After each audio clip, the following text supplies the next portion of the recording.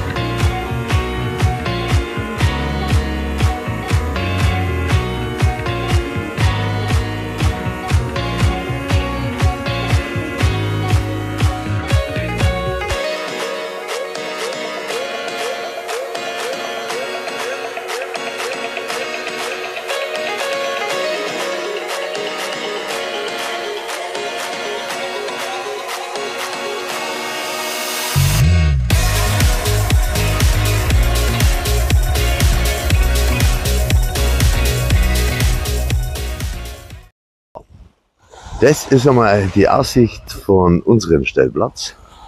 Also ich glaube, es gibt bei weitem, weitem, weitem Schlechteres. Was wir jetzt äh, gesehen haben, wir stehen hier auf einer betonierten Bodenplatte. Ist natürlich, äh, ja, hast halt einmal keinen Dreck. Die ersten Tage hatten wir nur Dreck. Aber erste Reihe, also wie ihr sehen könnt, einfach, einfach genial.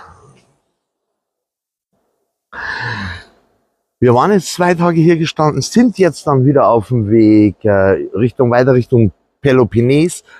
Wir werden morgen auf die Insel Lefkada fahren. Aber ich erzähle euch das unterwegs.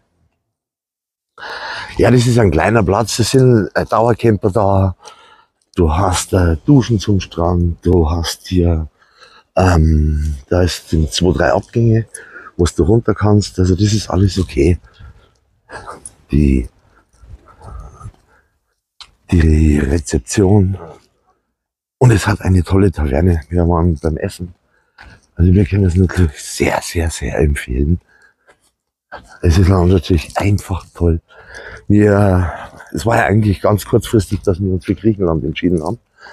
Aber es ist einfach nur phänomenal, man muss es ehrlich sagen. Da ist so eine kleine Rezeption. Hier ist die Taverne. Wirklich, wo man richtig gute, gute Hausmannskost hat.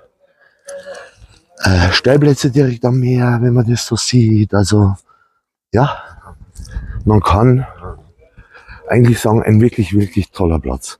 Ich vermute mal in der Hauptsaison wird schwierig sein, hier einen Platz zu kriegen. Aber, äh, ja, was will man mehr? Wir fahren halt bewusst immer in der Nebensaison. Äh, hier kann man abspülen drin. Das sind Toiletten, Herren, Damen. Die Kemmel der Entsorgung ist hier ums Eck. Ich muss mal gucken, wenn keiner drin ist, kann ich euch zeigen. Wunderbar sauber alles. Am Tag mehrmals putzen. Das sind jetzt die Toiletten und Duschen. Also, ich würde sagen, richtig sauber und prima gemacht. Ja. Der, wie viele Generalstellplätze das der jetzt hat, das weiß ich nicht. Das kann ich jetzt auch nicht sagen. Aber Fakt ist es, ja, du stehst da unter Olivenbäumen. Natürlich mit einem großen, mit, mit einem Liner hast du da echt Probleme reinzukommen. Das ist schon so gedacht, äh, ich sage mal, für teilintegrierte, ja, ähm, Revierkasten und so, ne? Da ist es einfach, ich sage mal, wirklich ein idealer Platz. Hier stehst du wunderbar, da ist Schatten.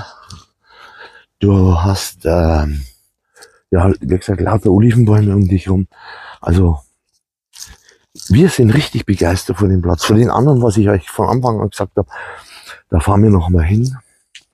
Ähm, da werden wir noch mal separates Video machen, der heißt Camping äh, Sofa. Ein wundervoller und wundervoll geführt. Alle deutschsprachig. Die Lena hatte lange in Deutschland gelebt. Ja, und hier muss ich sagen, also es sind Dauercamper. Nächsten dann ist noch ein Platz. Das ist dann der Camping äh, Corolla, glaube ich. Ja, Corolla. Hm, da sind noch mehr Dauercamper als wir jetzt hier.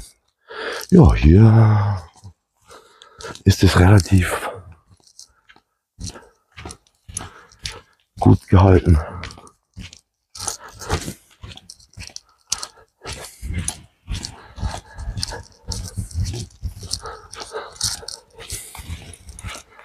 Der ist klein und, und schnucklig. Das muss man ehrlich sagen. Na gut, das ist halt so typisch Dauercamper. Ja, und so stehen wir in der ersten Reihe. Also, wir sagen so schön, alles richtig gemacht im Prinzip. Nein, es ist toll. Und ja, kann man nicht schimpfen. Ja, das war der kleine Rundgang. Also, ich kann es euch wirklich am Herzen legen. Äh, Camping, äh, Camping Agro Gali ist ein wirklich toller Platz. Wir, äh, wir werden ihn mit Sicherheit wieder aufsuchen. Allein schon hier diesen Ausblick. Da ist Lefkada, da geht's morgen rüber. Also, in diesem Sinne, Freunde, bleibt dran. Ich nehme euch weiter mit auf unsere Reisen.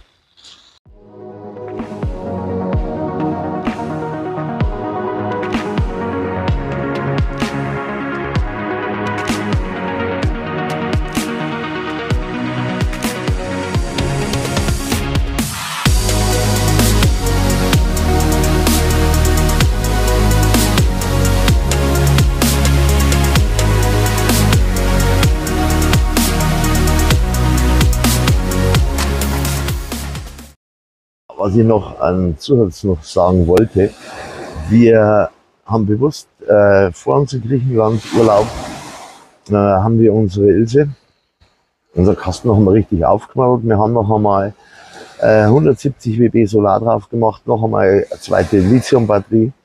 Also wir kommen, wir haben jetzt 200er Lithium drin und äh, fast 300 WB auf dem Dach. Wir kommen locker und leicht mit allen zurecht.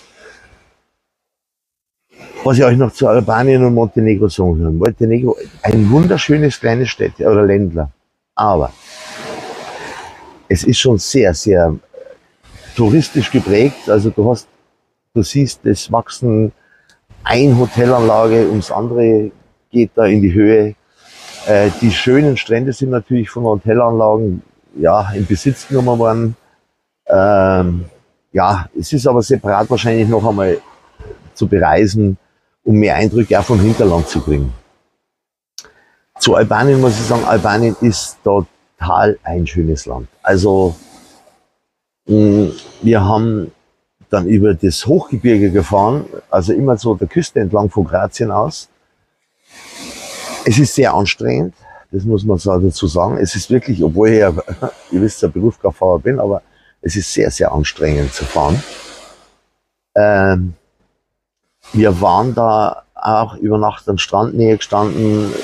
Es hat sehr viel geregnet. Wir konnten also auch nicht direkt so freistehen, weil die Freistehplätze oder die, die, die Stellplätze, die offiziellen, die waren einfach abgesoffen. Also da ist es wäre so drüber geschwappt und, und der Regen und alles. Aber wir haben uns da nichts nehmen lassen. Wir sind an einer, an einer Beachbar hingefahren, eine sehr, sehr tolle Beachbar. Haben da gesagt, du, wir möchten gern bei euch essen und äh, ja, wie es ausschaut, dürfen wir bei euch übernachten. Ja, kein Problem. Wir haben wundervoll gegessen. Und ich glaube, dass die nächsten Jahre sich unwahrscheinlich viel tut in Albanien. Das ist für uns noch einmal eine separate Reise. Das muss ich ganz ehrlich sagen. Weil das alles zu erfassen, was du in Albanien wirklich, auch das, das Hinterland, die Dörfer, das ist alles, ja, äh, es ist ein Traum, wirklich. Es ist ein Traum. Wir kommen da mit unserer Bereifung und mit unserer Bodenfreiheit ja ganz gut zurecht. Hatten null Probleme. Ja, und jetzt in Griechenland wie gesagt, da fahren wir eben die offiziellen Plätze oder eben die kleinen Campingplätze an. Hier auf dem Weg zu diesem kleinen Campingplatz ist eine breite Straße, sehr wenig Verkehr. Äh, da stehen sehr viele Camper, was auch die Camper ans Herz gelegt wird. Das heißt, es stellt euch bitte nicht vor, direkt vor die Häuser, sondern wenn ein Haus da ist, stellt euch ein bisschen daneben hin, das halt versetzt oder oder Hotels, wenn kleine Pensionen dran sind. Also das soll man, und dann glaube ich, kommt man ganz gut zurecht wenn man halt nicht immer groß das Campingverhalten zeigt. Ne? Und wie ich es euch zu Anfang erwähnt habe, wir mögen es schon gerne, dass wir einmal unseren Stuhl und unser Tisch raus ähm, machen, aber das, das darfst du halt nur mal in Griechenland eigentlich, eigentlich nicht. Ja, jetzt glaube ich, habe ich genug erzählt. Äh, den Platz habe ich euch vorgestellt. Morgen nehme ich euch mit noch weiter auf die Fahrt. Ja, und dann werden wir uns in Lefkada mit Sicherheit wiedersehen. Also, in dem Sinne, Freunde, bleibt dran, gell? Lasst ein Abo da und vielleicht ein Like oder ein Kommentar. Ob es jetzt wieder gut war nach so langer Zeit, ich weiß es nicht. Wir versuchen wieder in die Spur zu kommen mit unserem Kanal, klar. Aber wie gesagt, bleibt dran, unterstützt uns, lasst ein Like da. Es kostet euch nichts und abonniert unseren Kanal. Gell? Also, in dem Sinne, ciao, ciao, pfiat euch, servus.